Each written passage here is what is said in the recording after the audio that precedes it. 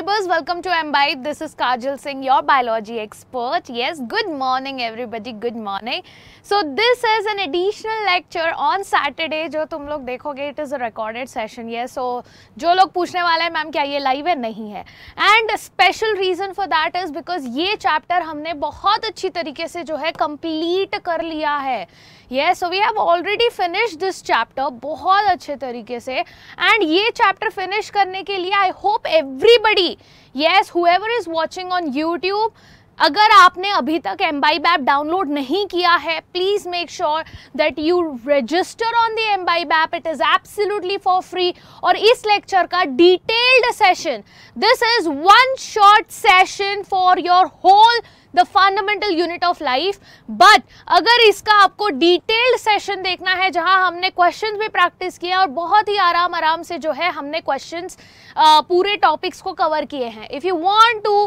go and see that you will get it on Embibe okay so make sure that you register it as soon as possible and it is absolutely for free let me repeat that again cool and this is a telegram channel which is imbibe achieve cbsc 9th and 10th yes यहाँ पर आपको सारे lectures के update भी मिलते रहेंगे जो भी live classes होती हैं यहाँ पर आपको जो है सबका update मिल जाएगा, ठीक है?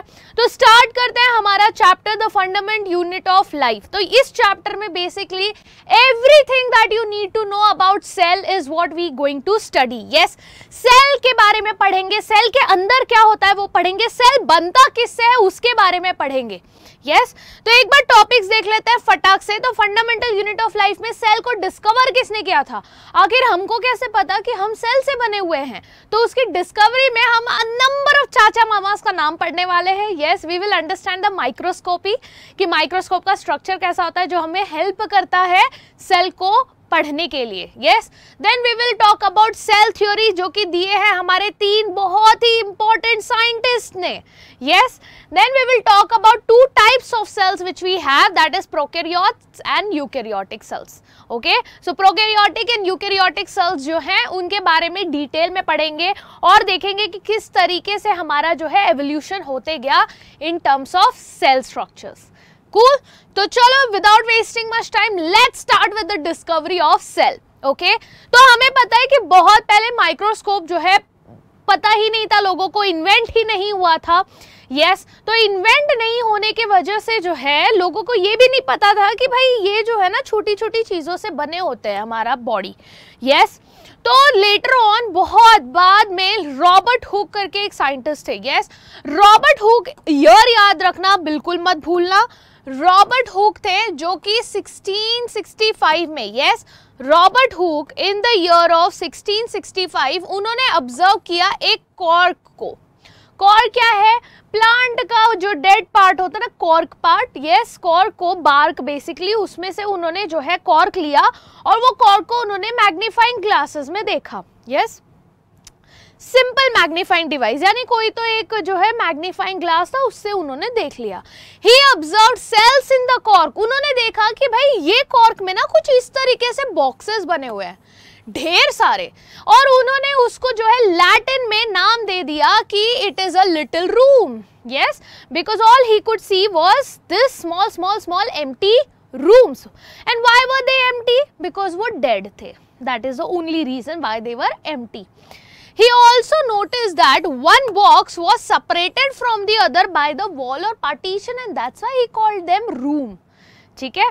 तो ये जो है, इन्होंने इस तरीके से नोटिस किया कि भाई ये छोटे छोटे रूम दिख रहे हैं खाली खाली रूम्स दिख रहे हैं और उसी को उन्होंने बोला कि ये क्या है? दीज आर सेल्स ठीक है?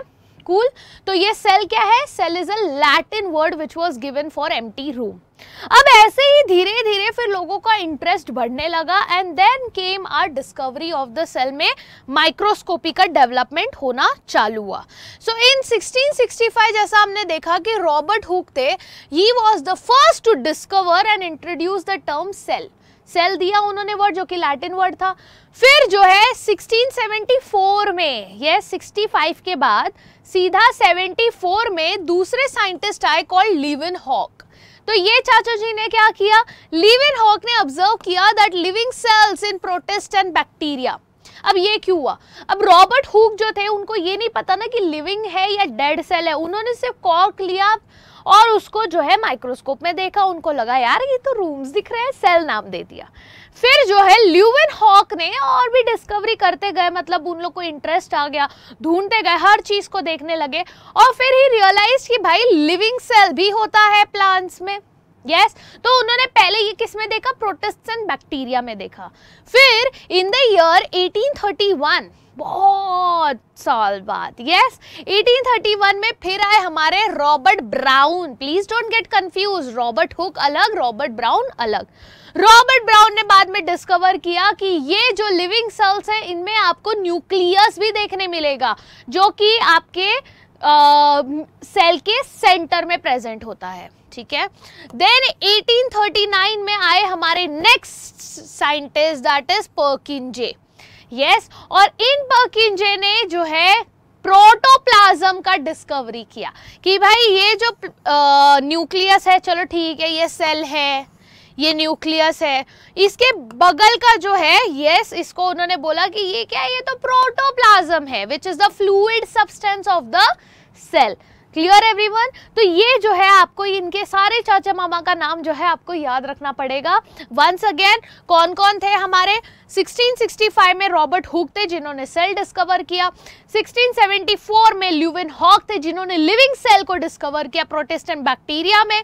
1831 में रॉबर्ट ब्राउन आए थे जिन्होंने न्यूक्लियस डिस्कवर किया था। एंड 1839 में पर्किंज आए थे जिन्होंने कॉइन किया था term protoplasm clear yes I hope nobody has any doubt और अगर कभी भी ऐसा होता है कि पूरे सेशन में कुछ भी अगर आपको क्वेश्चन आता है कोई भी डाउट आता है you can let me know in the comment section I will do check the comment section today itself okay yes चलो. And please make sure that you like the session yes and you spread it so that जितने भी बच्चों का exams आने वाला है बहुत सारे बच्चे जिनका एग्ज़ाम होने वाला है येस yes, उनको हेल्प हो जाएगी. So make sure that you do share it on your social media. Tag me over there. I'll reshare, but make sure that you do share with people. Okay? Cool. चलो, अब आते हैं हमारे cell theory पे। Discovery तो हो गया, अब सेल थियोरी की बात करते हैं। तो सेल थियोरी किसने किसने दिया था? तो हमारे दो बड़े इंपॉर्टेंट साइंटिस्ट हैं। एक हमारे श्लीडन जिनका पूरा नाम था मिथिया श्लीडन और दूसरे हमारे थियोडोर श्वान दोनों भी जो है बॉटन बायोलॉजिस्ट थे बट दोनों भी अलग अलग बायोलॉजिस्ट थे।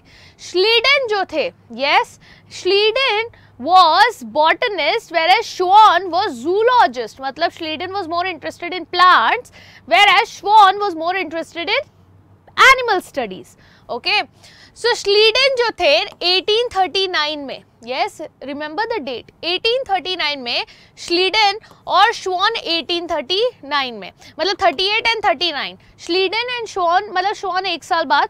पहले श्लीडन ने क्या किया? ही प्रपोज कि सारे प्लांट्स जो होते हैं ना वो लिविंग सेल होते हैं. यस yes, सारे प्लांट्स जो हैं वो सेल से बने हुए होते हैं. और फिर श्वान ने भी ये कंफर्म किया कि हाँ भाई सारे एनिमल्स भी सेल से बने हुए होते हैं. ठीक है? और उन्होंने ये भी पॉइंट ऐड किया कि cell is the basic unit of life यानी कि उसको बेसिक यूनिट ऑफ़ लाइफ इसीलिए कहा जाता है क्योंकि वो सेल ही पूरे आपके फंक्शनिंग को, आपके बॉडी में जो भी फंक्शनिंग हो रही है, वो सारी सेल्स के वजह से हो रही है। It's just like a huge corporation which is running and each and every office which is present in the corporation is responsible for the success of the corporation तो हर एक ऑफ़िस में जो काम चल रहा है, वो बहुत इंपॉर्टेंट है। सिमिलरली आपके बॉडी में जो काम चल रहा है, अगर आपकी बॉडी अच्छे से फ़ंक्शन कर पा रही है the only reason is because आपका सेल बराबर से फ़ंक्शन कर पा रहा है। ठीक है?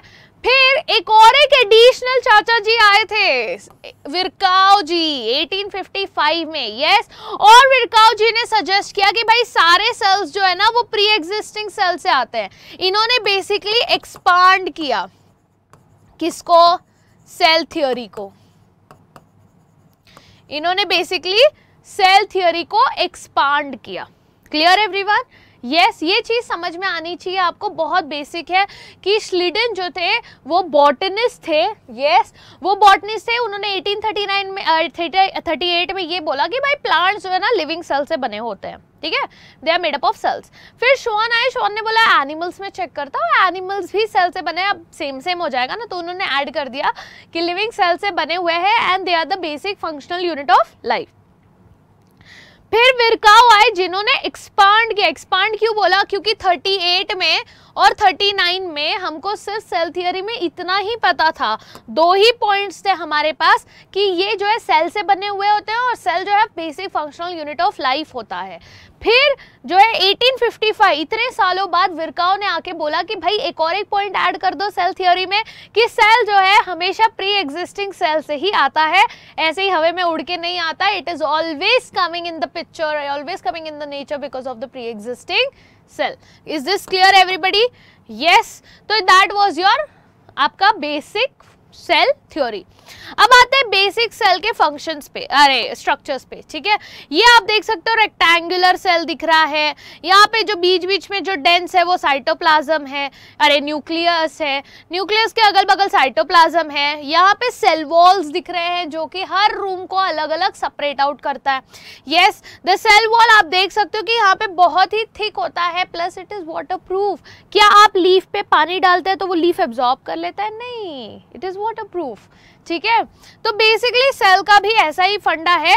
Yes basic unit bricks in the buildings and cells in the living organisms are the basic structural unit of all the organisms clear yes अब और भी रीजंस तो होंगे ही कि आखिर इनको बेसिक यूनिट ऑफ़ लाइफ क्यों कहा जाता है। क्योंकि अगर आप देखने जाओगे तो आपके बॉडी में ऑर्गेनिजम्स में हमारे पास दुनिया भर के ऑर्गन सिस्टम्स है yes we have organ system like we have circulatory system yes जो कि सर्कुलेशन करता है। वी हैव स्केलेटल सिस्टम जिसके वजह से हमारा जो है लोकोमोशन एंड मूवमेंट होता है। वी हैव डाइजेस्टिव सिस्टम जो यहाँ पे हमको पिक्चर में दिख रहा है।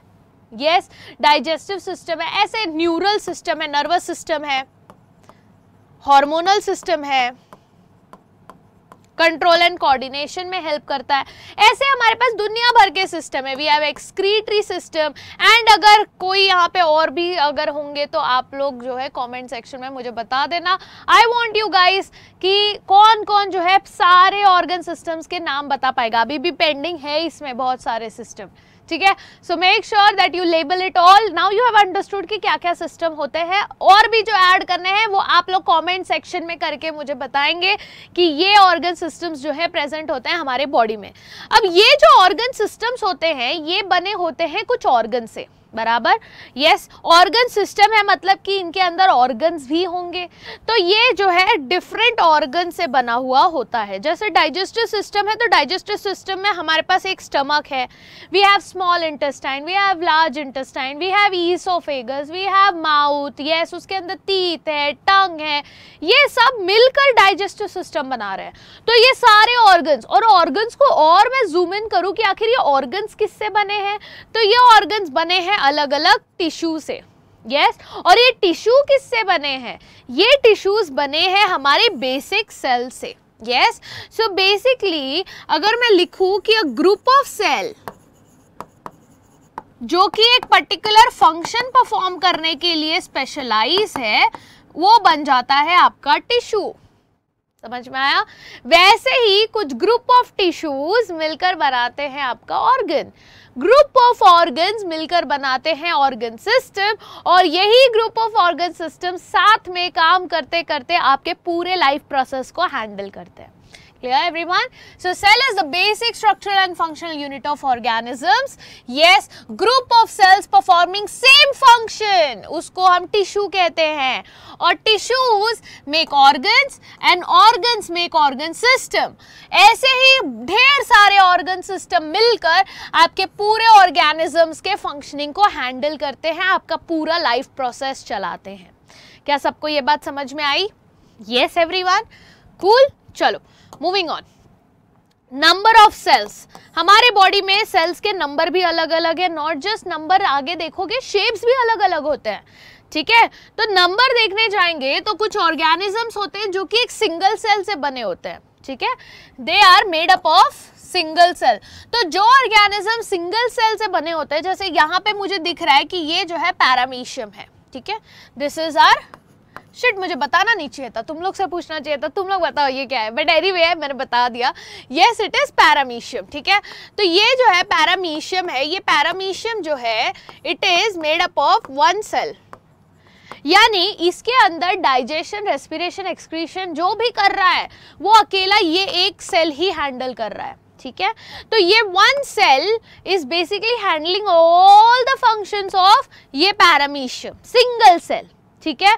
यानी सारा काम इसको अकेले करना पड़ रहा है। तो जब ये एक सेल से बना है तो ऐसे ऑर्गेनिज्म को हम कहते हैं यूनी यूनी मतलब वन सेल्यूलर सेलुलर मतलब सेल तो ये होते हैं यूनी सेलुलर ऑर्गेनिजम्स यस जैसे कि एग्ज़ाम्पल में आ जाएगा amoeba paramecium yes next is जब organism more than one cell से बने हुए होते हैं yes when they are made up of more than one cell जैसे कि ह्यूमन बींग्स में हमारे पास ढेर सारे सेल्स है ढेर सारे टिश्यूज है ढेर सारे ऑर्गन्स है और ऑर्गन सिस्टम्स है।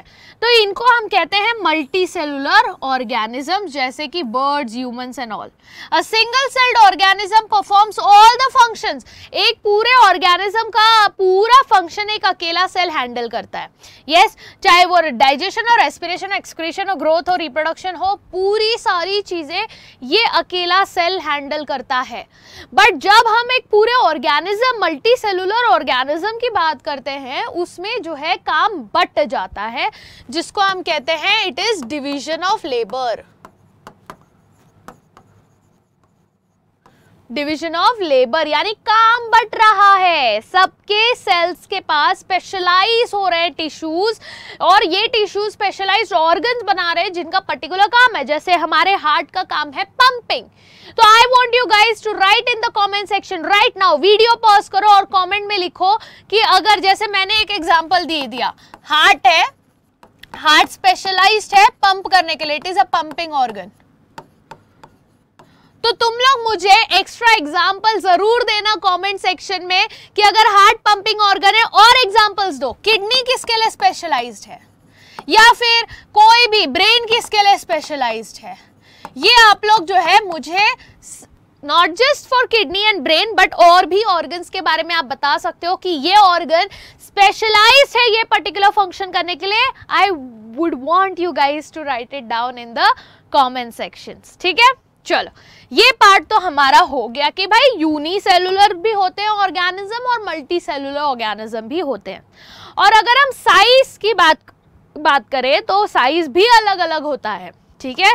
जैसे यहाँ पे स्केल बनाया है 100 एम mm का टिल वन माइक्रोमीटर तो हम देख रहे हैं ऑस्ट्रिच का एग जो है एनिमल्स में सबसे बड़ा सेल माना जाता है, ठीक है? फिर चिकन एग आया, फिर फ्रॉग एग आया ह्यूमन एग उससे भी छोटा हो गया एनिमल सेल प्लांट सेल उससे भी छोटा हो गया। माइटोकॉन्ड्रिया बैक्टीरिया ये जो है वन माइक्रोमीटर के साइज़ में आ गए रेंज में। ये रेंज बनाया है साइज़ का। तो हम यहाँ पे देख सकते हैं कि अलग अलग जो सेल्स होते हैं, उनके साइजेस भी अलग अलग होते हैं। So the size of the cell can be small as a millionth of a metre या फिर एक फ्यू सेंटीमीटर तक का भी साइज़ हो सकता है। अब इसमें आपको क्वेश्चंस क्या पूछेंगे? What is the smallest cell तो स्मॉलेस्ट सेल है point one to point five micrometre जो कि एक बैक्टीरिया का साइज़ होता है। लार्जेस्ट सेल बोलेंगे तो that is 170 seventy m m into one thirty m m which is an egg of the ostrich तो ऑस्ट्रिच का एक सबसे बड़ा सेल होता है एनिमल किंगडम में।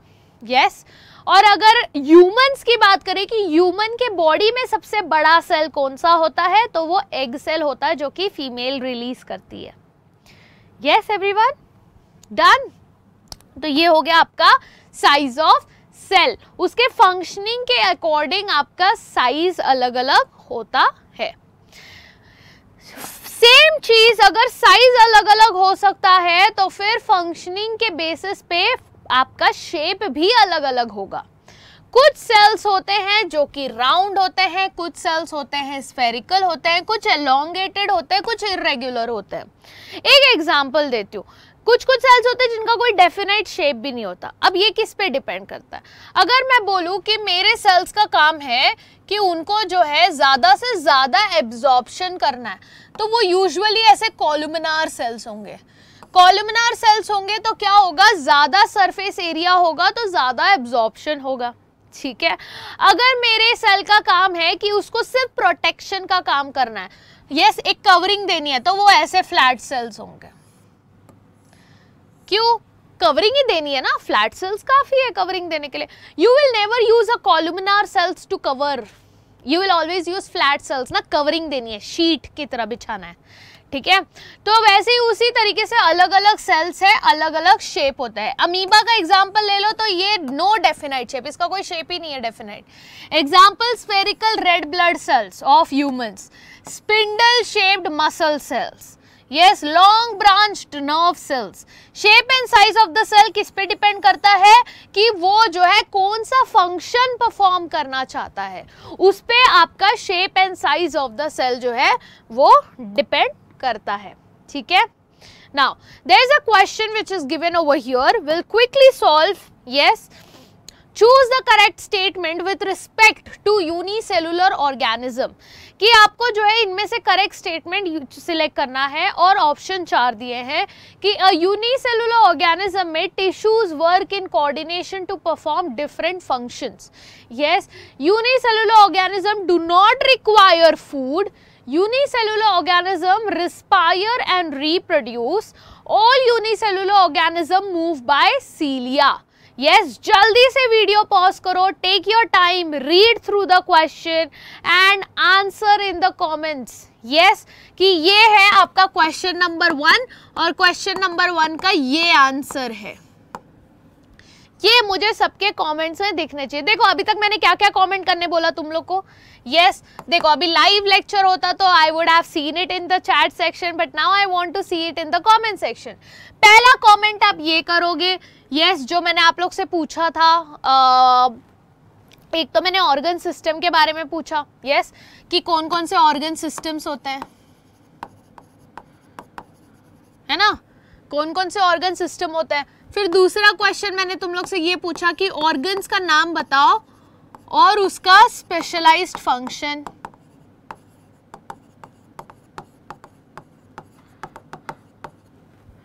तीसरा हार्ट मत लिखना हार्ट मैंने बता दिया है कि it is a pumping organ तीसरा, ये क्वेश्चन नंबर वन का आंसर ठीक है?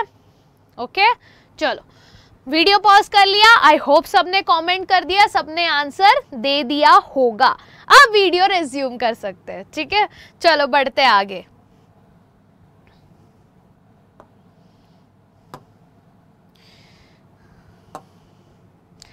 अब आते हैं प्रोकैरियोटिक सेल्स पे। यस प्रोकैरियोटिक सेल्स पे बात करते हैं, ठीक है? अब देखो, ये वर्ड जो है ना, ये वर्ड को पहली बात तो अच्छे से समझो, बहुत प्यार से इसको अंडरस्टैंड करो, पूरी चीज़ें बहुत क्लियरली समझ में आ जाएँगी। तो प्रोकैरियोटिक में मुझे दो वर्ड्स दिख रहे हैं प्रो और एक कैरियोटिक तो जो कैरियोटिक है, ये वर्ड आया है कैरियन से, जिसका मतलब होता है न्यूक्लियस प्रो जो है ये वर्ड आया है प्रिमिटिव से। प्रिमिटिव यानी अनडेवलप्ड पुराना। और मेरा बेस्ट तरीका याद रखने का प्रो से पुराना। यस yes, अगर if you want to remember it like this pro means पुराना, यानी क्या प्रो मीन्स पुराना? कैरियन मतलब न्यूक्लियस तो पुराना न्यूक्लियस है ये। पुराना न्यूक्लियस है, इसीलिए डेवलप्ड नहीं है। यस ये बहुत पुराना है, इसीलिए इसके पास ढंग के कवरिंग्स भी नहीं है। ठीक है? तो ये एक बहुत ही प्रिमिटिव सेल है पुराना सेल है in which well defined nucleus absent होता है। इसके पास न्यूक्लियस वेल डिफाइंड नहीं होता। अब बोलोगे मैम वेल डिफाइंड न्यूक्लियस मतलब क्या? यस yes, अगर किसी को आंसर आता है जल्दी से वीडियो पॉज करो and write it in the comment section right now yes तो वेल डिफाइंड मतलब क्या? कि इनके पास जो है न्यूक्लियर मेम्ब्रेन प्रेजेंट नहीं होते। और इनका जो जेनेटिक मटेरियल होता है lies as a single chromosome and this region is called as nucleoid not a nucleus it is called as nucleoid ये जो है, ऐसे पड़े रहते हैं। इनके पास कोई फिक्स न्यूक्लियर स्ट्रक्चर नहीं है सारे जेनेटिक मटेरियल को अंदर रखने के लिए। इसीलिए इनका जेनेटिक मटेरियल ऐसे बिखरा हुआ रहता है और उस रीजन को हम कहते हैं न्यूक्लियोइड। इनके पास मेम्ब्रेन नहीं होता so they lack membrane bound cell organelles also also इनके पास राइबोसोम प्रेजेंट तो होता है बट छोटा सा राइबोसोम होता है। इनके पास 70 एस राइबोसोम होता है।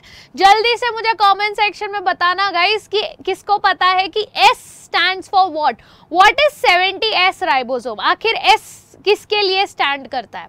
वैसे तो आगे हम लोग राइबोसोम में पढ़ेंगे but I want you guys to answer it right over here क्योंकि ये हमारा रिविजन चल रहा है तो you should know this example आ जाता है bacteria cyanobacteria blue green algae ये क्या है? ये आपके प्रोकैरियोटिक ऑर्गेनिजम्स हैं, जिनके पास न्यूक्लियोइड दिखता है।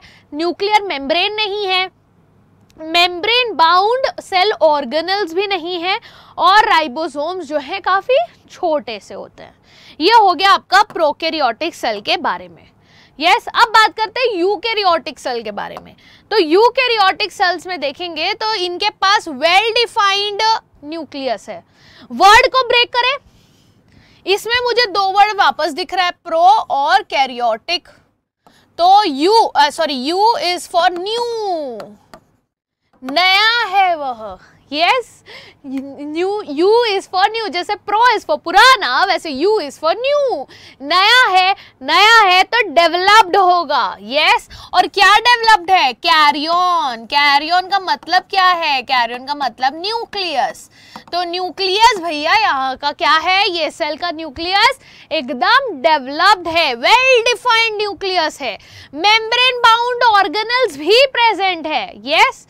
हेरिडिट्री मटेरियल जो होता है, वो न्यूक्लियर एनवलप से कवर्ड है तो न्यूक्लियोइड नहीं, इधर प्रॉपर न्यूक्लियस प्रेजेंट है। Yes it contains membrane bound cell organelles also all the plants and animal cells even fungi और fungi whatever you're comfortable talking yes they are present in your eukaryotic organisms तो ये आपका कुछ इस तरीके से animal cell दिखता है। इसमें हमको न्यूक्लियस दिख रहा है, न्यूक्लियर मेम्ब्रेन दिख रहा है। इसके अंदर जो है न्यूक्लियो न्यूक्लियोइड दिख रहा है, न्यूक्लियोलस बेसिकली जहाँ पे आपका पूरा जेनेटिक मटेरियल प्रेजेंट होता है। यहाँ पे मुझे बहुत सारे सेल ऑर्गेनल्स भी दिख रहे हैं। इसमें से कुछ कुछ सेल ऑर्गेनल्स मेम्ब्रेन बाउंड है, जो कि सिर्फ़ यूकेरियोट्स में मिलता है। Clear yes everyone so parts of eukaryotic cells देखने जाएँगे तो क्या क्या पार्ट्स आते हैं? Eukaryotic cells comprises of cell membrane जिसको हम प्लाज्मा मेम्ब्रेन भी कहते हैं। ठीक है? न्यूक्लियस प्रेजेंट है, जिसके पास न्यूक्लियर मेम्ब्रेन होगा। सेल ऑर्गेनल्स प्रेजेंट होंगे which are scattered in cytoplasm और ये सेल ऑर्गेनल्स में कुछ कुछ मेम्ब्रेन बाउंड सेल ऑर्गेनल्स भी प्रेजेंट होंगे। तो एक एक करके हमको सारे इसको पढ़ना पड़ेगा। पहले स्टार्ट करते हैं हम हमारे सेल मेम्ब्रेन से which is nothing but your plasma membrane so it is also called as plasma membrane yes cytoplasm जो होता है और न्यूक्लियस ये सारी चीज़ों को अंदर बाँध के रखता है ये साइटोप्लाज्म ठीक है? साइटोप्लाज्म बोल रहा हूँ। सेल मेम्ब्रेन ठीक है? यानी आपका ये सेल मेम्ब्रेन है तो इसके अंदर आपका पूरा साइटोप्लाज्म न्यूक्लियस सारी चीज़ों को बाँध के अंदर रखने वाला, यानी यही वो मेम्ब्रेन है, जो कि आपके सेल की कवरिंग बनता है। द साइटोप्लाज्म न्यूक्लियस ये सारी चीज़ें इसके अंदर इंक्लोज होती हैं। Membrane separate cells from other one another and from the surrounding medium यानी ये बेसिकली मेरे वॉल्स बन जाते हैं। ये मुझे प्रोटेक्ट कर रहे हैं बाहर के एनवायरमेंट से। Yes it is porous and allows the movement of substances और materials both inwards and outwards the but one thing which you need porous मतलब क्या है? इसके अंदर पोर्स प्रेजेंट होते हैं कहीं कहीं पे। जगह खाली रहता है जो जो कुछ कुछ मॉलिक्यूल्स को अंदर बाहर करने देता है। One thing which you need to remember is इनका स्ट्रक्चर अगर आप ध्यान से देखेंगे। Yes yes? यहाँ पर ऐसे स्ट्रक्चर ध्यान से देख रहा है तुम लोग को? ये कुछ इस तरीके से स्ट्रक्चर बना हुआ है। हेड है टेल है। हेड है टेल है। हेड है टेल है। इधर भी टेल है हेड उल्टा। ठीक है? तो one thing which you need to remember about your plasma membrane is कि ये बना होता है लिपिड से। और ये दो लेयर से बना होता है, इसीलिए इसको हम कहते हैं lipid bilayer yes lipid bilayer से बना हुआ है। इसके पास एक हेड है और एक टेल है। सॉरी ये और एक टेल है। यस yes, जो हेड है दैट इज़ हाइड्रोफिलिक हाइड्रोफिलिक मतलब वाटर सल्यूबल वाटर लविंग जो पानी में डिजोल्व हो सकता है। और जो टेल है इनका, ये है आपका हाइड्रोफोबिक। यानी वाटर हीटिंग वाटर हीट यानी कि क्या? इनसल्यूबल इन वाटर और इस तरीके से ये जो है आपका लिपिड बाइलेयर बनाते हैं। ठीक है? इनमें आपको फॉस्फेट प्रोटीन्स भी अगर कभी कभी मिलेगा तो उसको हम कहेंगे फॉस्फोलिपिड बाइलेयर यस यहाँ पे आपको फॉस्फेट भी मिलता है इसीलिए इसको हम कहेंगे phospholipid bilayer clear everybody इस तरीके से आपका ये पूरा स्ट्रक्चर दिखता है. नॉट जस्ट दैट यहाँ पर आप देखोगे कुछ कुछ प्रोटीन स्ट्रक्चर्स भी प्रेजेंट है. ग्लाइकोप्रोटीन लिखा हुआ है. यस yes, कुछ कुछ चैनल प्रोटीन्स प्रेजेंट हैं. Yes yes? तो इनके बीच बीच में प्रोटीन्स एम्बेडेड होते हैं जो कि ट्रांसपोर्ट ऑफ़ मटेरियल को हेल्प करते हैं। Yes yes? अब इनमें सारी चीज़ें जो है ट्रांसपोर्ट नहीं होती। ये जो है, ऐसा नहीं कि कुछ भी आपके सेल के अंदर आ सकता है, कुछ भी जा सकता है, नहीं। सिर्फ़ कुछ कुछ चीज़ें ही क्रॉस कर सकती है जिनको ये परमिशन देता है। तो इसीलिए जो आपका ये मेम्ब्रेन है, इसी को हम कहते हैं सेमी परमिएबल मेम्ब्रेन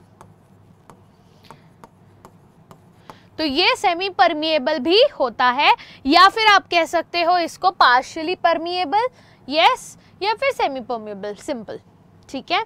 ओके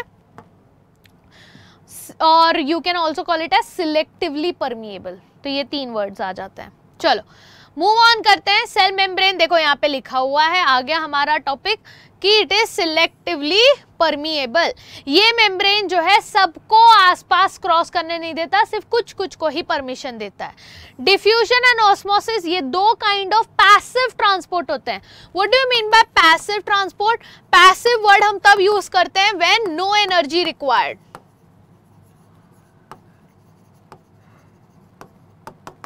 ठीक है? जब कोई एनर्जी रिक्वायर्ड नहीं होती, तब हम उसको पैसिव वर्ड यूज़ करते हैं of the molecules without the expenditure of energy clear तो ये हमारा सेल मेम्ब्रेन में क्या क्या पैसिव ट्रांसपोर्ट है, जो बिना किसी एनर्जी यूज़ किए आराम से डिफ्यूजन एंड ऑस्मोसिस हो जाता है। ठीक है? मूविंग ऑन अब डिफ्यूजन को थोड़ा बेटर तरीके से समझते हैं। तो वैसे तो हमने बहुत डिटेल में बात किया था। अगर सबको लेक्चर याद होगा तो हमने लेक्चर में वो लिफ्ट में वो परफ्यूम वाली आंटी का एग्ज़ाम्पल लिया था है ना? यस yes, तो अभी मैं वापस वो एग्ज़ाम्पल तो नहीं दूँगी बट हाँ if anybody is interested you can go and watch the lectures again on M by yes all the lectures are present detail में okay all the things are present in recorded session but यहाँ पे हम थोड़ा सा quickly understand करते हैं diffusion होता क्या है। तो देखो डिफ्यूजन यहाँ पे देखोगे, अगर ये ब्लू कलर का सोल्यूशन है, इसको मैंने ड्रॉपर से लिया और ये क्लियर वाटर में डाल दिया। जैसे ही मैं डालूँगी ये इंक को, ये इंक जो है धीरे धीरे धीरे धीरे धीरे पूरे पानी में फैलने लगेगा। ये फैल कैसे रहा है? आखिर क्या इसको परमिशन दे रहा है फैलने का? अगर आप इसको थोड़े टाइम रखोगे तो ये पानी भी पर्पल कलर का हो जाएगा। यानी वो जो इंक गिरा था, वो इंक पूरी तरह से धीरे धीरे धीरे धीरे डिस्पर्स हो जाएगा। फैल जाएगा। कैसे फैल रहा है? हमेशा आप देखोगे तो मूवमेंट ऑफ़ मॉलिक्यूल्स जो हैं, वो हमेशा from area of high concentration to area of low concentration move होते हैं। तब तक मूव होते हैं जब तक कि उनको इक्वली डिस्ट्रीब्यूट ना किया जाए या फिर जब, तब तक, जब तक कि इक्विलिब्रियम रीच ना कर लें। जैसे ही वो इक्विलिब्रियम रीच कर लेते हैं, वैसे ही उनका डिफ्यूजन रुक जाता है। यस और इनमें कोई एनर्जी की ज़रूरत नहीं होती, इसीलिए ये पैसिव पैसिव ट्रांसपोर्ट होते हैं। यस पैसिव होते हैं क्योंकि कोई एनर्जी नहीं लगी, आराम से जो है फैल गए। क्लियर तो ये था आपका osmosis moving on sorry diffusion moving on to what is osmosis तो यहाँ पे एक एग्जांपल लिया गया है, ठीक है? तो यहाँ पे देखो कुछ मॉलिक्यूल्स यहाँ है, कुछ मॉलिक्यूल्स यहाँ है. बट यहाँ पे अगर आप देखोगे ब्लू कलर का है, वो पानी है, ठीक है? ब्लू कलर की चीज़ें पानी है और बीच का पोर्स है. हो क्या रहा है कि यहाँ पे पानी कम है और यहाँ पानी ज़्यादा है, इसीलिए ये पानी इस सेमी परमिएबल मेम्ब्रेन से होते हुए क्या हो जाता है क्रॉस कर जाता है आपके इधर यस yes? तो यहाँ पे क्या दिख रहा है मुझे? यहाँ पे दिख रहा है कि यहाँ पे जो सेमी परमिएबल मेम्ब्रेन है, उसमें पानी जाना अलाउड है, बराबर? पानी जाना अलाउड है, इसीलिए यहाँ पे the movement of water molecules happen from region of higher concentration to lower concentration across semi permeable membrane इसको भी हम पैसिव ट्रांसपोर्ट ही कहते हैं, क्योंकि इसमें भी कोई एनर्जी नहीं लगी है। समझ में आया? Yes everyone cool yes yes, तो इतना तो समझ में आ गया कि भाई ऑस्मोसिस जो है वो पानी में हो रहा है डिफ्यूजन जो है वो गैसेस या फिर लिक्विड में हो रहा है। गैसेस में भी होगा। इधर परफ्यूम स्प्रेड किया पूरे रूम में फैल जाता है। रूम फ्रेशनर स्प्रेड किया पूरे रूम में फैल जाता है। तो ये क्या है? डिफ्यूजन है। क्लियर यस तो ये ऑस्मोसिस और डिफ्यूजन हमारा क्लियर हो गया। अब ये दोनों अगर पैसिव प्रोसेस हैं तो आखिर एक्टिव क्या होता है? एक्टिव वो होता है एक्टिव हम उसको कहते हैं जहाँ पे एनर्जी एक्सपेंडिचर हुई। एनर्जी की ज़रूरत पड़ी। ड्यूरिंग एक्टिव ट्रांसपोर्ट जो मूवमेंट ऑफ़ सब्सटेंसेस होता है, वो एरिया ऑफ़ लो कॉन्सेंट्रेशन से हाई कॉन्सेंट्रेशन जाता है। यानी उल्टा। अब यहाँ पे ऑलरेडी गर्दी है बहुत गर्दी है, ठीक है? मतलब बहुत ज़्यादा भीड़ है। लेट्स इमेजिन आप किसी बस में चढ़ने जा रहे हो और वो बस में ऑलरेडी बहुत भीड़ है। यस आप फिर भी कोशिश कर रहे हो घुसने का। आप क्या करोगे? बहुत एनर्जी लगाओगे कि ऐसे ऐसे करके अंदर घुसोगे राइट यानी कि आपको बहुत ज़्यादा एनर्जी स्पेंड करना पड़ेगा। हाई कौन बेसिकली यहाँ पे लो लो से हाई जाने के लिए, उस भीड़ में घुसने के लिए बहुत ज़्यादा एनर्जी लगेगी। तो उसको हम कहते हैं एक्टिव ट्रांसपोर्ट वहीं पे अगर आपको खाली बस मिल जाए, आप आराम से चढ़ जाओगे, है ना? कोई एक्स्ट्रा एनर्जी नहीं लगेगी। तो ये तो खैर एक जस्ट मेटाफोरिक एग्ज़ाम्पल है बट इन जनरल यहाँ पर ऐसा ही होता है कि जब हाई कॉन्सेंट्रेशन ऑलरेडी एक जगह है फिर भी आप कुछ कुछ चीज़ों को घुसाने की कोशिश कर रहे हो तो उसके लिए एनर्जी लगेगी। और ये एनर्जी, ये मूवमेंट कराने के लिए हमारे पास कुछ कैरियर प्रोटीन्स होते हैं जो प्लाज्मा मेम्ब्रेन में प्रेजेंट होते हैं। ये कैरियर प्रोटीन्स जो हैं लोअर कॉन्सेंट्रेशन से हायर कॉन्सेंट्रेशन जो है सब्सटेंसेस को पुश करने में हेल्प करता है along with the use of energy in the form of ATP clear yes तो ये होता है आपका एक्टिव ट्रांसपोर्ट ठीक है? तो we are done with plasma membrane we are done with passive transport active transport passive में हमने देखा डिफ्यूशन क्या होता है ऑस्मोसिस क्या होता है? ये सारी चीज़ें हमारी एकदम क्रिस्टल क्लियर यस चलो, एक जल्दी से इस टाइम पे पॉज करके ना मेरे को let me see some big use ढेर सारे heart in the chat section I will understand कि ओके समझ में आ रहे हैं और सब लोग लेक्चर में अटेंटिव है। अगर मुझे चैट्स में वो दिखे ऐसे बड़ा बड़ा bundles of heart that means that you guys are attentive and watching the video so thank you so much for that now let's continue yes cell wall पढ़ते हैं। ठीक है? आ जाओ। सेल वॉल में क्या है? तो प्लांट सेल्स जो है cell wall are present only in plant cells animal cells में सेल वॉल नहीं होता. तो plant cells differ from animal cells in having an additional layer around the cell membrane जिसको कहते हैं cell wall cell wall plants में क्यों होता है? एक्स्ट्रा प्रोटेक्शन देने के लिए against variation in temperature high wind speed atmosphere हम लोग को जो है उसकी ज़रूरत नहीं है. हम, हमारे पास ऑप्शन है. हमारा टेम्परेचर मेंटेन करने के लिए we can move basically plants का ऐसा सीन नहीं है. प्लांट्स को उधर ही रिजिड ही रहना है. मौसम कैसा भी हो हम घर के अंदर घुस जाते हैं. प्लांट क्या करेगा? यस yes, इसीलिए प्लांट्स के पास एक एक्स्ट्रा प्रोटेक्शन के लिए जो है क्या प्रेजेंट होता है? सेल वॉल प्रेजेंट होता है. डिटेल में थोड़ा उसका स्ट्रक्चर समझ लेते हैं कि सेल वॉल में कैसा कैसा चीज़ होता है ठीक है? तो बहुत टफ मटेरियल होता है. सेलुलोज से बना हुआ होता है हमारा सेल वॉल ठीक है? यस हमारा सेल वॉल किससे बना होता है? सेलुलोज से बना होता है। Let me just write it down और ये काफ़ी ज़्यादा रिजिड होता है। रिजिड मतलब बहुत ज़्यादा टफ होता है, बहुत, इसीलिए ये प्रोटेक्शन देता है। ये इनक्लोज करता है साइटोप्लाज्म और बाकी सेल ऑर्गेनल्स को। तो पहले तो साइटोप्लाज्म समझ लेते हैं। साइटोप्लाज्म क्या है? It is a jelly like substance yes आपके न्यूक्लियस और सेल वॉल या फिर सेल मेम्ब्रेन न्यूक्लियस और सेल मेम्ब्रेन के बीच का जो खाली जगह है जो इसमें फ्लूइड फिल्ड सब्सटेंस है, उसको हम साइटोप्लाज्म कहते हैं। यस द सेल ऑर्गेनल जैसे कि माइटोकॉन्ड्रिया गोल्गी बॉडी राइबोसोम्स ये सारी चीज़ें साइटोप्लाज्म के अंदर प्रेजेंट होती हैं। It is a site for chemical reaction बहुत इंपॉर्टेंट पॉइंट कि जितने केमिकल रिएक्शंस होते हैं, जितने मेटाबॉलिक रिएक्शंस होते हैं यस इवन आपका रेस्पिरेशन की अगर बात करें यस तो ये सारे मेटाबॉलिक रिएक्शंस जो होते हैं, ये आपके साइटोप्लाज्म के अंदर होते हैं। Cytoplasm which is devoid of cell organelles is called as cytosol अब इसका मतलब क्या? Cytoplasm is made up of cell organelles plus वो जो फ्लूइड सब्सटेंस है साइटोसोल तो अगर कल को अगर आपको कोई पूछेगा कि साइटोसोल क्या होता है तो इट्स वेरी सिंपल साइटोसोल मतलब साइटोप्लाज्म बट उसमें से सेल ऑर्गेनल्स निकाल दो माइनस कर दो। तो ये बन जाएगा आपका cytosol done done done yes तो साइटोसोल समझ लिया साइटोप्लाज्म भी समझ लिया। यस क्वेश्चन आ जाता है कि the jelly like fluid substance जो प्रेजेंट होता है आपके सेल में, उसको हम क्या कहते हैं? तो ये हमारा बन जाता है क्वेश्चन नंबर टू जिसका आंसर आप लोग को कमेंट सेक्शन में अभी अभी अभी अभी वीडियो को पॉज करते हुए देना है।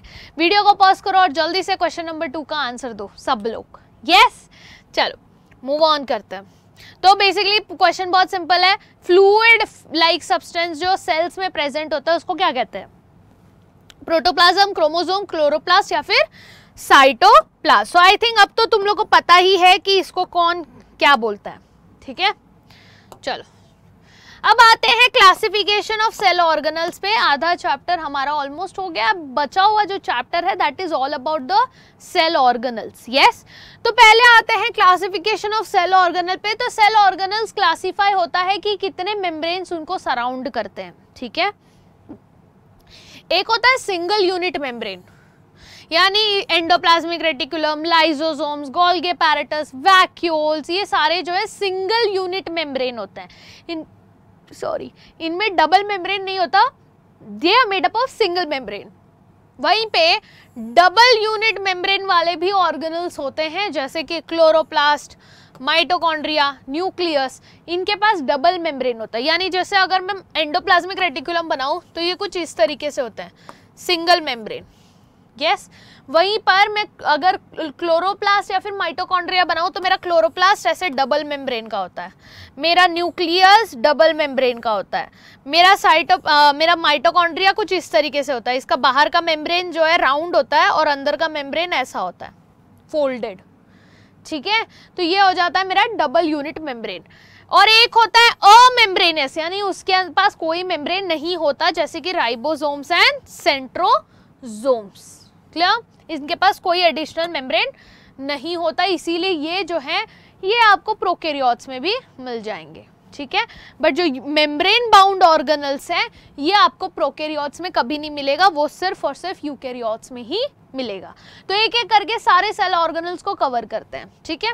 पहले हम बात करेंगे एंडोप्लाज्मिक रेटिकुलम की। यस सबसे पहला बात करेंगे एंडोप्लाज्मिक रेटिकुलम की। तो एंडोप्लाज्मिक रेटिकुलम ये जो आप दिख रहे हो यहाँ पे यस ये आपका पूरा, ये आपका एंडोप्लाज्मिक रेटिकुलम है यस ये क्या कर रहा है? ये आपके जो दिख रहे हैं ना आपको यहाँ पे, ये वाले पार्ट्स ये राइबोसोम्स हैं, ठीक है?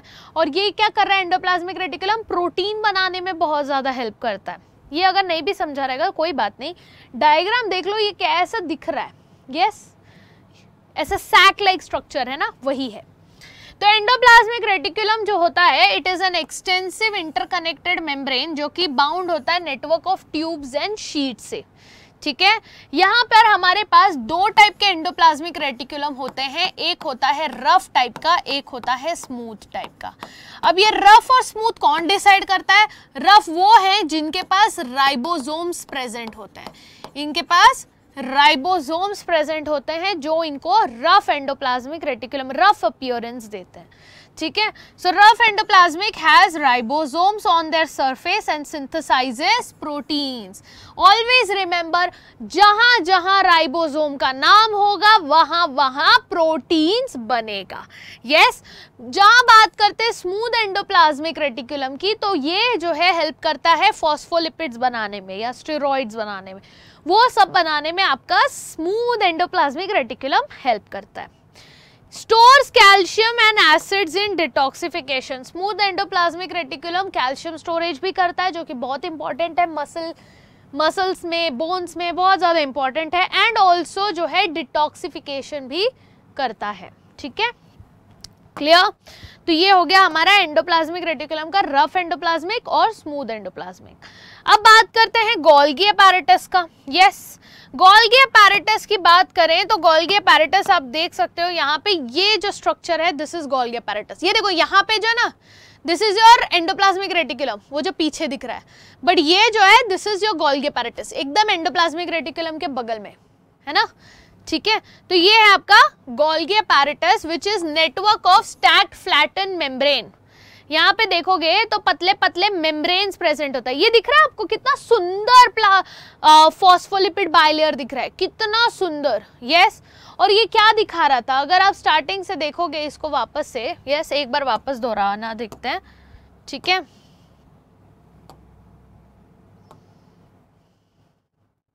यहाँ पे देखो।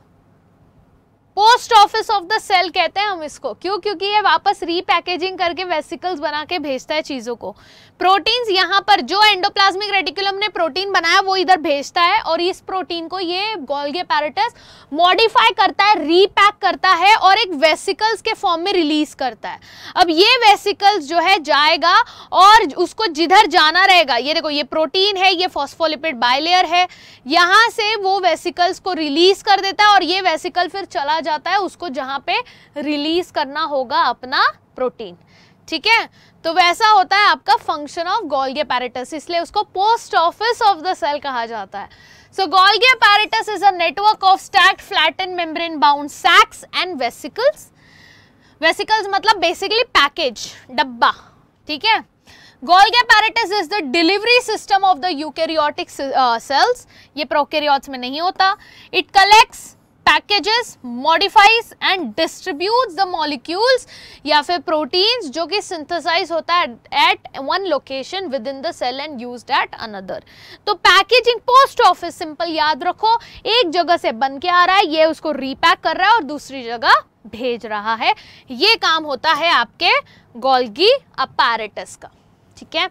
लाइजोसोम्स अगर फिर भी किसी को कंफ्यूजन है प्लीज़ इसका डिटेल्ड लेक्चर ज़रूर देखना।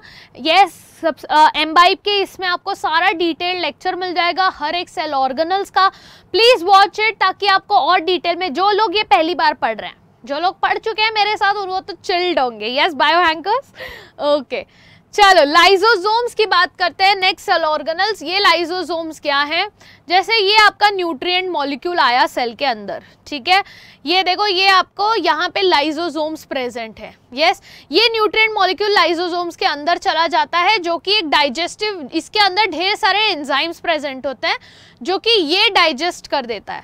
तो लाइजोसोम्स बेसिक फ़ंक्शन क्या है? इसका बोलने का मतलब ये है कि लाइजोसोम्स के अंदर क्या प्रेजेंट होता है? कुछ एंजाइम्स प्रेजेंट होते हैं। एसिड हाइड्रोलेज एंजाइम्स प्रेजेंट होता है। अब इसका मतलब क्या? ये ब्रेक डाउन करता है वेस्ट मटेरियल को। यस yes, कोई भी चीज़ जो न्यूट्रिएंट्स हुई वेस्ट मटेरियल जिसको ब्रेक डाउन करना है। And cellular debris cellular debris debris मतलब कचरा। सेलुलर डेब्रीज यानी पुराना सेल जो डैमेज हो गया है, ये सारे सेल्स तो बेसिकली लाइजोसोम्स क्या है? लाइजोसोम्स के अंदर जो है ढेर सारे एंजाइम्स होते हैं डाइजेस्टिव एंजाइम्स होते हैं, जो किसी भी चीज़ को डाइजेस्ट कर सकता है। इनफैक्ट अगर वो खुद फट गया तो वो अपने पूरे सेल को भी डाइजेस्ट कर डालेगा। इसीलिए हम उसको सुसाइड बैग्स भी कहते हैं। अगर उसको पता है कि वो जिस घर में रह रहा है, वो जिस सेल के अंदर रह रहा है, वो सेल सेल डैमेज हो रहा है तो वो अपने आप फट जाता है और अपने सारे डाइजेस्टिव एंजाइम्स को जो है रिलीज़ कर देता है, जिसके वजह से उसका पूरा का पूरा सेल मर जाता है। इसको कहते हैं हम लाइजोसोम्स एंड सुसाइडल बैग्स ठीक है? Again a question for you question number three for everybody yes which of these is not related to endoplasmic reticulum इसमें से कौन सा स्टेटमेंट है जो कि एंडोप्लाज्मिक रेटिकुलम से रिलेटेड बिल्कुल नहीं है? पहला स्टेटमेंट है it behaves as transport channel for proteins between nucleus and cytoplasm दूसरा स्टेटमेंट है it transports material between various region in cytoplasm तीसरा है it can be it can be the site of energy generation and चौथा statement है it can be the site for some biochemical activities of the cell तो जल्दी से मुझे comment section में सबका आंसर चाहिए कि आखिर ये एंडोप्लाज्मिक रेटिकुलम से रिलेटेड ऐसा कौन सा स्टेटमेंट है जो कि एंडोप्लाज्मिक रेटिकुलम से बिल्कुल भी मेल नहीं खाता? यानी it is not for endoplasmic reticulum जल्दी से इसका आंसर सब लोग देंगे in the chat section okay cool अब बात करते हैं कंटिन्यू करते हैं वीडियो पॉज कर लिया करो. आराम से कमेंट कर लिया करो, फिर वीडियो रेज्यूम करना. ठीक है? चलो so I am assuming that everybody has answered the question this was your third question yes तो ऐसा क्वेश्चन नंबर भी लिख देना। क्वेश्चन नंबर थ्री और ये आंसर है। ठीक है? अब बात करते हैं हम वैक्यूल्स के बारे में। यस yes, तो वैक्यूल्स आप देखोगे तो वैक्यूल्स क्या है? ये जो है ना बड़ा सा। यस ब्लू कलर का। ये है आपका वैक्यूल्स अब इधर प्लांट में बड़ा दिख रहा है एनिमल में बड़ा नहीं होता। एनिमल्स में बहुत छोटे छोटे होते हैं। ठीक है? So plant cells yes plant cells have large vacuole बहुत बड़े बड़े वैक्यूल्स होते हैं। वेर एज एनिमल सेल्स की बात करें तो इनके पास छोटे छोटे वैक्यूल्स प्रेजेंट होते हैं। आखिर ये वैक्यूल्स होते क्या है? इसको आप बोल सकते हो कि it is like a storage box store room है ये आपके सेल का। Yes vacuoles are storage sacs for solid और लिक्विड कॉन्टेंट हर चीज़ आपकी जो सेल में ज़रूरत है स्टोर करने की, वो वैक्यूल में जाके स्टोर हो जाता है। इसलिए बोला ना स्टोरेज रूम कचरा भी होता है, अच्छी चीज़ें भी होती है, ज़रूरत की चीज़ें भी होती है, सारी चीज़ें उसमें स्टोर होती हैं। ये जो है प्लांट सेल्स को टर्जिडिटी या एंड रिजिडिटी भी प्रोवाइड कराता है। अब बोलोगे टर्जिडिटी रिजिडिटी क्यों, कैसे प्रोवाइड कराएगा? अगर ये वैक्यूल्स इतना बड़ा है कि ये अपने न्यूक्लियस को और साइटोप्लाज्म को कोने में ढकेल देता है। इतना बड़ा होता है प्लांट सेल्स में। एनिमल्स में छोटा छोटा होता है। Yes yes? प्लांट सेल्स में इतना बड़ा होता है तो इसके अंदर जब लिक्विड भरते जाता है तो वो प्लांट सेल्स को रिजिड और टर्जिड कर देता है। टर्जिड मतलब टाइट कर देता है। ठीक है? क्योंकि इतना ज़्यादा फ्लूइड भरा है तो वो टाइट हो जाएगा रिजिड हो जाएगा टफ हो जाएगा। Yes yes? तो ये एक बहुत इंपॉर्टेंट पॉइंट है, इस पे क्वेश्चन भी आपको प्रैक्टिस सेक्शन में जो है, देखा होगा, आप लोग ने किया था। Okay now in unicellular organisms जो सिंगल सेल्ड ऑर्गेनिज्म होते हैं, उसमें vacuoles play an important role in nutrition and osmo regulation what is osmoregulation? Yes, osmoregulation is basically salt fluid balance. Osmotic pressure का बैलेंस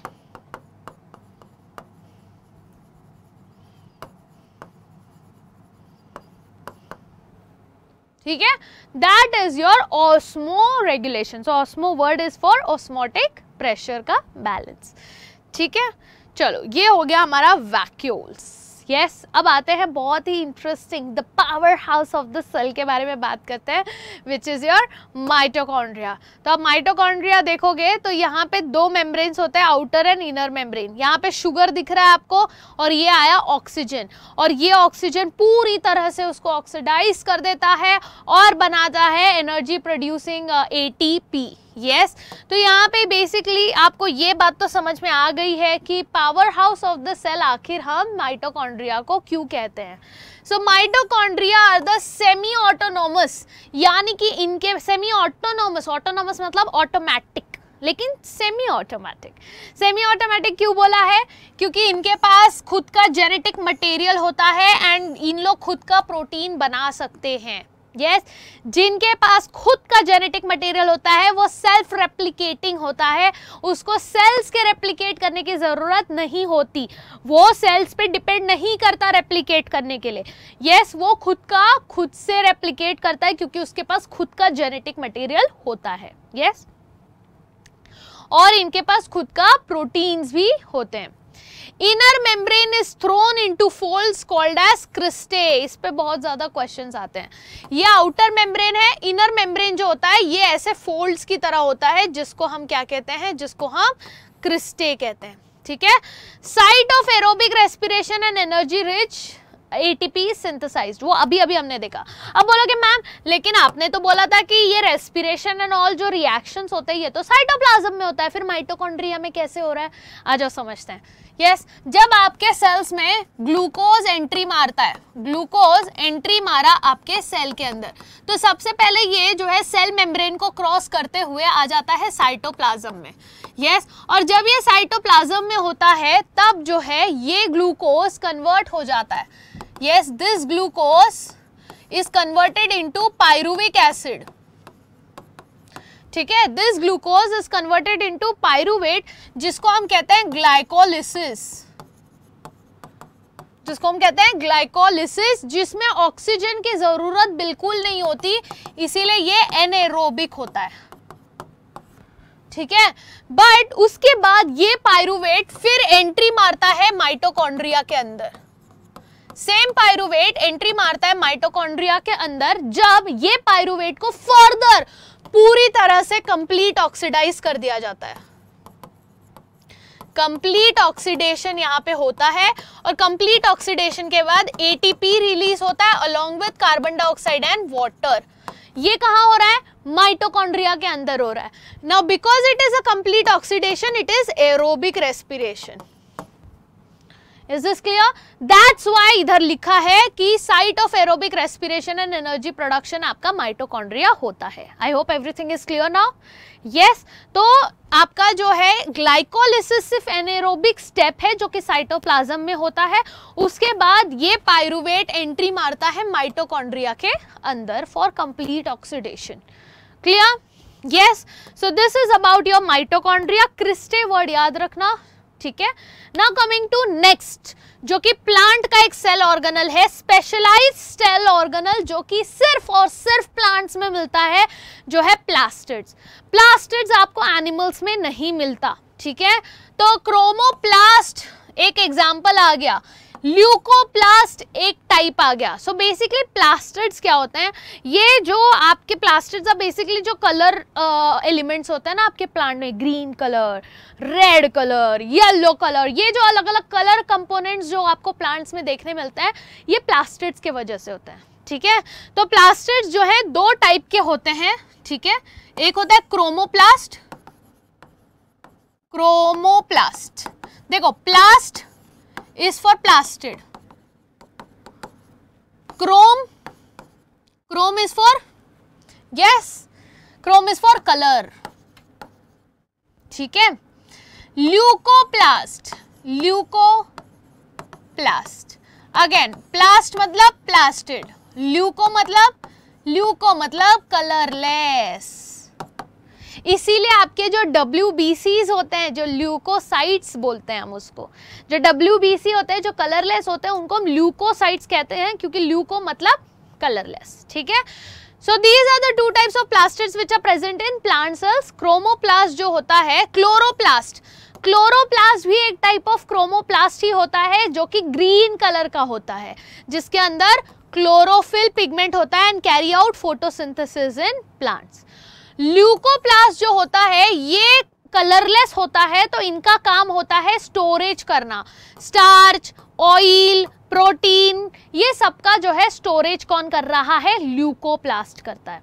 क्लियर यस yes, आप यहाँ पे भी देख सकते हो ये आपका क्रोमोप्लास्ट है जिसके अंदर कोई भी पिगमेंट हो सकता है। Yellow pigment I want you guys to name few of them जैसे हमारा ग्रीन पिगमेंट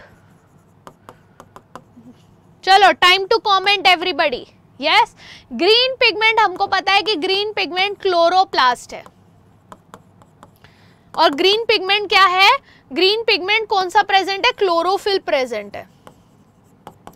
ऐसे आप लोग जल्दी से कमेंट सेक्शन में बताएँ कि अगर किसी प्लास्टिड का कलर येलो है तो उसका पिगमेंट कौन सा है? किस पिगमेंट के वजह से वो येलो है। ये एक क्वेश्चन मैंने पूछा।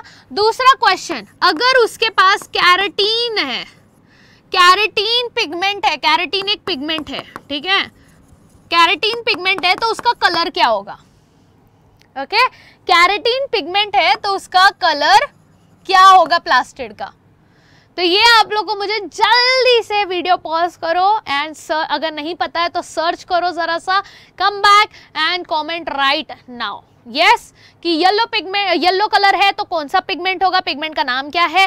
कैरेटीन पिगमेंट का नाम दे दिया मैंने। अब मैं जानना चाहती हूँ कि कैरेटीन पिगमेंट से कौन सा कलर आता है प्लास्टिड का। ठीक है? चलो, और भी कोई अगर पिगमेंट का नाम आप लोग को पता होगा write it down in the comment section below it will help other students also ठीक है? आ जाओ, थोड़ा डिटेल में क्लोरोप्लास्ट समझते हैं ओके क्लोरोप्लास्ट जैसा कि हमने डिस्कस किया था कि ये जो है प्लांट्स में प्रेजेंट होता है और कुछ बैक्टीरिया में भी प्रेजेंट होता है, जो कि ऑटोट्रॉफिक्स होते हैं। ऑटोट्रॉफिक क्यों बोला? क्योंकि खुद का खाना खुद से बना रहे हैं। क्या करके? फोटोसिंथेसिस करके। यस फोटोसिंथेसिस करते हैं, जिसके वजह से ये खुद का खाना खुद से बनाते हैं। और ये फोटोसिंथेसिस करने वाला पिगमेंट जो है, फोटोसिंथेटिक पिगमेंट, वो कौन सा है? आपका क्लोरोफिल है। Yes and these are surrounded by two membranes दो मेम्ब्रेन्स है डबल मेम्ब्रेन बाउंड ऑर्गेनल्स होता है। इसके अंदर थाइलाकॉइड प्रेजेंट होता है, जो कि एक मेम्ब्रेनस सैक होता है। तो यानी कि ये आपका एक मेम्ब्रेन यहाँ पे वैसे बना है बट फिर भी मैं इजी फॉर्म में बना रही हूँ। ये एक मेम्ब्रेन आउटर मेम्ब्रेन ये इनर मेम्ब्रेन ठीक है, दो मेम्ब्रेन हो गए। अब, इसके अंदर का जो है फ्लूइड मैट्रिक्स जिसको कहते हैं स्ट्रोमा ठीक है, जिसको कहते हैं स्ट्रोमा इसके अंदर एक सैक लाइक स्ट्रक्चर होता है मेम्ब्रेन सैक लाइक स्ट्रक्चर जिसको हम कहते हैं थाइलाकॉइड और यही वो थाइलाकॉइड है जिसके अंदर आपका रेस्पिरेशन होता है, ठीक है? अब ये थैलाकॉइड है यस ये थैलाकॉइड का स्टैक बन जाता है. ठीक है? तो ये जो स्टैक है, उसको कहते हैं ग्राना तो ग्राना और granum singular is nothing but these are stacks of thylakoid okay and ये जो है, ये क्लोरोप्लास्ट जो है, इनके पास खुद का सेल ऑर्गेनल्स होता है। अरे, खुद का डीएनए होता है, इसीलिए ये भी सेल्फ ऑटोनॉमस होता है, जैसे कि हमारा माइटोकॉन्ड्रिया था। ठीक है?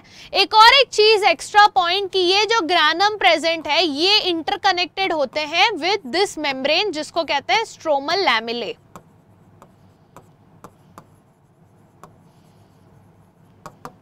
ठीक है? ये बन जाता है आपका complete chloroplast clear everyone yes this is about your chloroplast question आ गया फिर से. Which out which out of the following is not a function of vacuole इसमें से कौन सा है जो वैक्यूल का फ़ंक्शन नहीं है? ऑप्शन दिया है स्टोरेज दूसरा ऑप्शन है providing turgidity and rigidity to the cell C is waste excretion and D is locomotion जल्दी से वीडियो को पॉज करो एंड फाइंड आउट कि ये क्वेश्चन का आंसर क्या होगा? This is your question number four yes okay चलो तो ये क्वेश्चन नंबर फोर आप लोग को मिल गया है। वीडियो पॉज करके जल्दी से आंसर दे दे और बढ़ते हैं हम आगे। तो ये हो गया हमारा। से मोस्ट सारे सेल ऑर्गेनल्स हमने जो है कवर कर लिए। राइट एवरीवन अब आते हैं न्यूक्लियस पे। बहुत important very important most important cell organelle हमारा न्यूक्लियस न्यूक्लियस जो होता है इट इज़ प्रोमिनेंट स्ट्रक्चर जो कि एनिमल्स एंड प्लांट्स दोनों ही सेल्स में प्रेजेंट होते हैं. हाँ एक डिफरेंस है कि बड़ा वैक्यूल होने के वजह से प्लांट सेल्स में जो न्यूक्लियस होता है, वो पेरीफेरी पे चला जाता है, यानी कोने में चला जाता है। वेर एज एनिमल सेल्स में जो है बिकॉज़ वैक्यूल छोटे छोटे छोटे होते हैं न्यूक्लियस प्रेजेंट होता है एकदम सेंटर में। तो आप देख सकते हो, ये एनिमल सेल्स है और इसका जो मतलब ये तो पूरा न्यूक्लियस है बट इमेजिन करो, ये पूरा एनिमल सेल होता है, ऐसे ही राउंड होता है ना, उसके सेंटर में न्यूक्लियस होता है। ठीक है? तो nucleus controls all the cellular activities basically ये बन जाता है आपका ब्रेन ऑफ़ द सेल इसके पास प्रेजेंट होता है न्यूक्लियर एनवलप इसीलिए ये सिर्फ़ किधर मिलता है? यूकैरियोट्स में मिलता है। यस क्रोमोसोम्स प्रेजेंट होते हैं which is nothing but your DNA का complex DNA plus proteins DNA plus proteins make your chromosomes and एक रीजन प्रेजेंट होता है न्यूक्लियोलस जो कि ये सेंट्रल रीजन प्रेजेंट है. So this is your nucleus this is your nuclear membrane और ये जो न्यूक्लियर एनवलप होता है, ये पोरस होता है. पोरस होता है यानी इनके अंदर पोर्स होल प्रेजेंट होते हैं.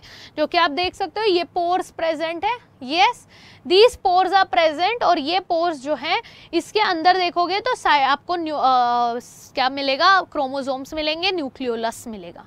ठीक है? डिटेल में देखते हैं थोड़ा सा कि और क्या क्या प्रेजेंट है। न्यूक्लियर एनवलप के बारे में अगर आप पढ़ोगे तो ये देखो आपको यहाँ पे पोर्स मिलता है। पोर्स के अंदर जाओगे तो इस तरीके से सारी चीज़ें उसके अंदर का जेनेटिक मटेरियल एंड और विजिबल हो जाता है। ये हम लोग फ़िलहाल न्यूक्लियस के अंदर हैं। ये न्यूक्लियस के अंदर का व्यू है, जिसमें क्रोमोजोम्स प्रेजेंट है और ये क्रोमोजोम्स डीएनए से बने हुए होते हैं। और यही डीएनए रीज़न है कि क्यों आपका न्यूक्लियस कहा जाता है ब्रेन ऑफ़ द सेल ठीक है? तो न्यूक्लियर मेम्ब्रेन के बारे में देखेंगे। द एनवलप जो होता है, जो न्यूक्लियस का एनवलप होता है, ये डबल मेम्ब्रेन होता है। कैसा होता है? डबल मेम्ब्रेन होता है। यस विथ मल्टीपल पोर्स और ये पोर्स रेगुलेट करता है passage of macromolecules like proteins and RNA but permit free passages of water ions ATP and other small molecules. यानी कि ये सारे molecules जो हैं वो इसी pores के थ्रू जो है अंदर बाहर मूवमेंट करते हैं।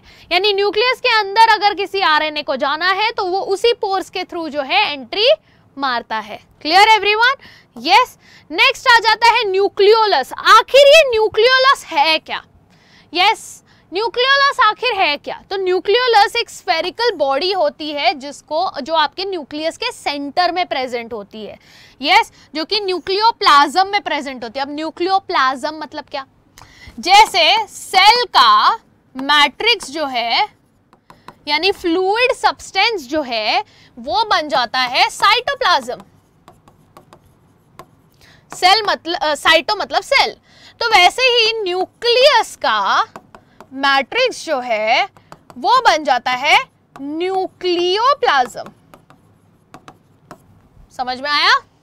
Yes it disappears when the cell is about to divide जब सेल डिवाइड करना चालू होता है, हमने सेल डिवीज़न में पढ़ा था ना स्टार्टिंग स्टार्टिंग में एकदम न्यूक्लियोलस का की न्यूक्लियर मेम्ब्रेन डिसअपियर होने लगता है। Yes yes? तो ये जो है न्यूक्लियोलस भी डिसअपियर हो जाता है और फिर वापस से रीअपियर होता है after cell division it is the active centre of protein and RNA synthesis yes यहाँ पर कंटिन्यूसली क्या बनता रहता है? आपका आरएनए सिंथेसाइज होता रहता है. अब लोग मैम आरएनए क्यों सिंथेसाइज करना है? तो उसके लिए आपको पता होना चाहिए कि आपका जो डीएनए होता है यस ये डीएनए जो जब सेल डिवीज़न करना होता है, तब ये डीएनए का ट्रांसक्रिप्शन होता है। ट्रांसक्रिप्शन हम प्रोसेस को बोलते हैं। ट्रांसक्रिप्शन यानी बेसिकली इस डीएनए को रीड किया जाता है और उसमें से आरएनए निकाला जाता है। एमआरएनए यानी मैसेंजर आरएनए जो कि मैसेज कैरी करता है कि इसका प्रोटीन बनाना है। ठीक है? तो डीएनए से ट्रांसक्रिप्ट ट्रांसक्रिप्ट बोलते हैं ना, एक चिट्ठी निकाली। ठीक है? एमआरएनए की, जिसके अंदर सारे कोड्स थे, जो कि अब न्यूक्लियस के बाहर निकलेगा और ये एमआरएनए जाएगा आपके एंडोप्लाज्मिक रेटिकुलम के पास न्यूक्लियस से बाहर निकल के। फिर एंडोप्लाज्मिक रेटिकुलम क्या करेगा? ये एमआरएनए को रीड करेगा ट्रांसलेट करेगा यस और ट्रांसलेट करके प्रोटीन्स बनाएगा। समझ में आया? यस ये सब कहा हो रहा है? आपके न्यूक्लियोलस के रीजन में हो रहा है। क्लियर ये क्रोमोसोम्स क्या है? क्रोमोसोम सिंपल लैंग्वेज में बात करें तो क्रोमोसोम्स आर नथिंग बट आपके इसके अंदर के डीएनए तो chromosomes are nothing but genes present होता है। They are made up of very chromatin thread chromatin thread chromosome सा कंडेंस स्टेट में होता है। तो जब हमारा सेल को डिवाइड नहीं करना है तो वो हमेशा क्रोमैटिन नेटवर्क क्रोमैटिन फाइबर के फॉर्म में प्रेजेंट होता है। बट जैसे सेल डिसाइड करता है कि उसको डिवाइड करना है, ये क्रोमैटिन कंडेंस होके, आपका कंडेंस होके क्या बन जाता है? क्रोमोजोम बन जाता है, जो कि ऐसे शेप का होता है। Four four legs present each containing DNA proteins and many genes और ये जीन हमको बताते हैं कि आप कैसे हैं। यानी कि आपके जीन्स बोलते हैं ना कि अच्छा आपके पास ये जीन है, इसीलिए आप ऐसे दिखते हो। Right right? और वो जीन्स कहाँ से मिलते हैं? ये जीन्स इनहेरिट होते हैं हमारे पास, हमारे मम्मी पापा से। Yes clear next question for everybody question है बहुत सिंपल सा, बहुत छोटा सा कि क्रोमोसोम्स जो हैं किससे बने होते हैं? क्या क्रोमोसोम प्रोटीन डीएनए से बने होते हैं, प्रोटीन से बने होते हैं, या दोनों से बने होते हैं, या आरएनए से बने होते हैं? जल्दी से वीडियो को पॉज करें and write down the answer in the comment section fast this is your question number five okay so I hope जल्दी से वीडियो पॉज करो, जल्दी से आंसर लिखो। Yes and I hope everyone has already done that okay अब जब आपने वो कर लिया है, तब हम आगे बढ़ते हैं आगे के टॉपिक पे। यस आगे हम पढ़ते हैं थोड़ा सा सेंट्रोजोम के बारे में। ठीक है? अब ये सेंट्रोजोम क्या होता है? Yes this is also very important centrosome is very important okay in the cells region surrounding centrioles yes, in almost all the animal cells. Animal cells and most protists have a pair of centrioles. Plant and fungi के पास centrioles नहीं होता। बहुत ही important line है ये। Plants and fungi के पास सेंट्रियोल्स नहीं होता है। वेर एज एनिमल्स एंड कुछ प्रोटिस्ट होते हैं जिनके पास सेंट्रियोल होता है। ये सेंट्रियोल जो है बहुत ज़्यादा हेल्प करता है सेल डिविजन के दौरान। Okay so centrosome is a area where microtubules are produced during cell division ये सेंट्रोजोम डिवाइड करता है both parts move to opposite sides of the cell जब आप सेल डिवीज़न पढ़ोगे डिटेल में, तब आपको समझेगा कि ये सेंट्रोजोम कितना ज़्यादा इंपॉर्टेंट है, क्योंकि जब हमारे एनाफेज के दौरान, कौन से फ़ेज़ एनाफेज जब एनाफेज के दौरान आपका, देखो मेटाफेज में क्या होता है? क्रोमोजोम इक्वेटर पे अरेंज हो गया, ठीक है? अब एनाफेज में ये क्रोमोजोम को सेपरेट करके कोने कोने में लेके आना है यस yes? तो ये जो कोने कोने में लेके आने वाला काम होता है, यही सेंट्रियोल्स होते हैं जो कि स्पिंडल फाइबर्स भेजते हैं। Is just like a Spiderman so centro centrioles are nothing but the Spiderman of our cell ठीक है? तो ये क्या करता है? ये ऐसे वेब फैलाता है। यस yes, और ये सारे क्रोमोजोम को जो है अपने साइड सो so, दो सेंट्रियोल्स में डिवाइड हो जाता है। एक सेंट्रियोल एक पोल पे दूसरा सेंट्रियोल दूसरे पोल पे। बीच में जो क्रोमोजोम्स ऐसे हैं इनको ये अलग कर देता है और कोने में लेके आ जाता है। ठीक है? यही होता है ना एनाफेज में। नहीं याद है तो वापस से रिवाइज कर लेंगे उसको भी। ठीक है?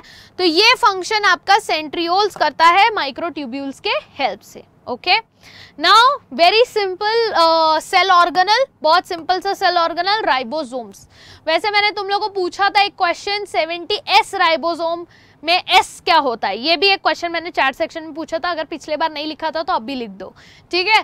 तो ये राइबोसोम्स क्या होता है? मैंने पहले ही बोला था, जहाँ जहाँ राइबोसोम का नाम होगा, वहाँ वहाँ प्रोटीन्स बनेगा। Yes Ribosomes found either freely in the cytoplasm or associated with internal membranes. Yes.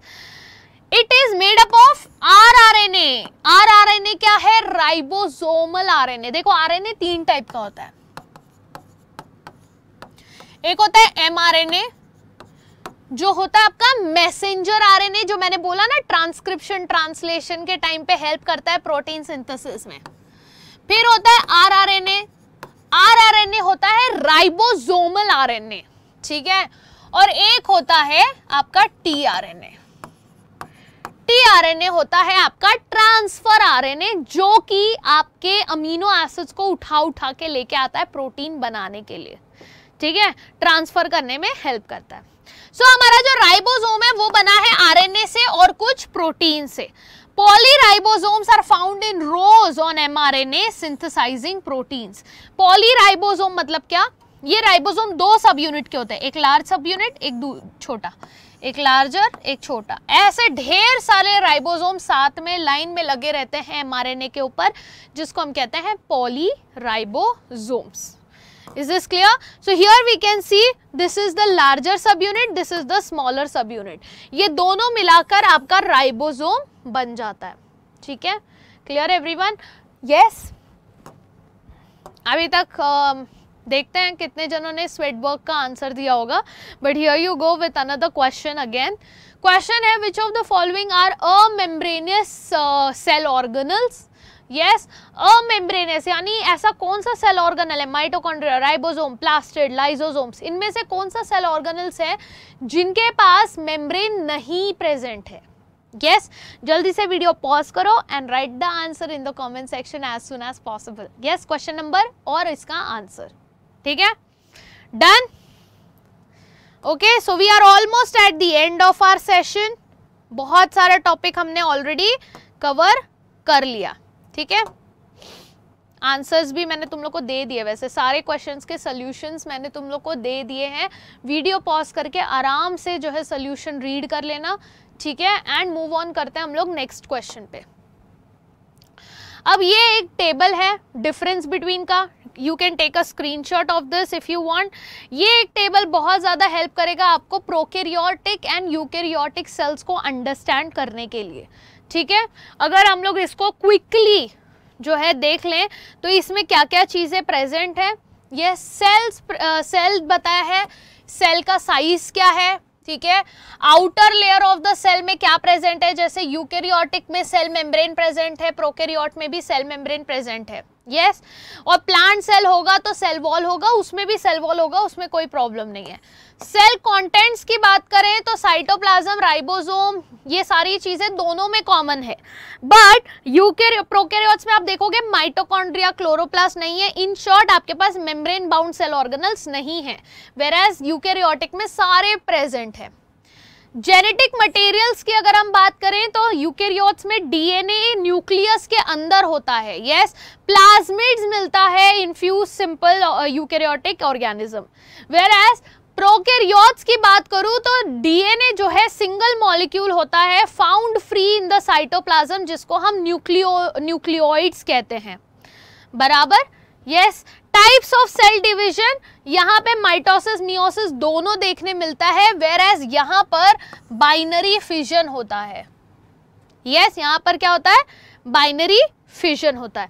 तो this summarises your prokaryotes and eukaryotes yes you can video को पॉज करके you can go through it when you feel confident कि अब सब समझ में आ गया है then you can move ahead कोई डाउट है तो you can write it down in the comment section okay solve this question find out इसमें से कौन सा फॉल्स स्टेटमेंट है ओके फॉल्स स्टेटमेंट दिया है Golgi apparatus is involve with the formation of lysosomes दूसरा स्टेटमेंट है nucleus mitochondria and plastid have DNA hence they are able to make their own structural protein तीसरा statement दिया है कि mitochondria is set to be the powerhouse of the cell as ATP is generated in them और last statement is cytoplasm को हम protoplasm भी कहते हैं। तो इनमें से कौन सा स्टेटमेंट है जो आपको लगता है कि गलत है? उस स्टेटमेंट को जो है मार्क करो and write it down in the comment section take a pause yes put your uh, whole thing on hold and see if you can answer the question. Okay? And इसका correct answer अगर आप देखने जाओगे तो